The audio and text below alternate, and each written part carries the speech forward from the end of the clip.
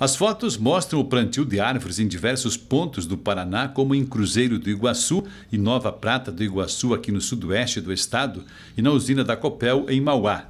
Estão entre as ações do IAT no projeto que conquistou a premiação que se chama Neutraliza Paraná.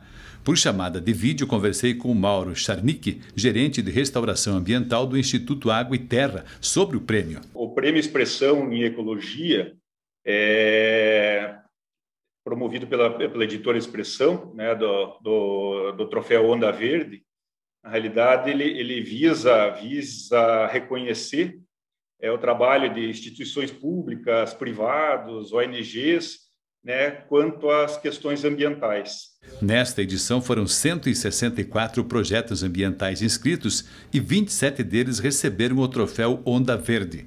O trabalho do IAT, reconhecido com o Prêmio Expresso de Ecologia na categoria Recuperação de Áreas Degradadas, tem diversas parcerias, como municípios e agricultores. A restauração em si é um trabalho ali de você estar tá formando corredores, você está aumentando a quantidade e qualidade de água aí, né, principalmente ali nos entornos de reservatórios, de, de, de rios, né, a questão de você trazer uma conectividade de, de, de fragmentos florestais, onde vai atrair mais a fauna. Né? Então, é, todas, eu diria que essas ações, essas políticas do Estado, elas acabam convergindo né, com essa ação aí do, do Neutraliza Paraná.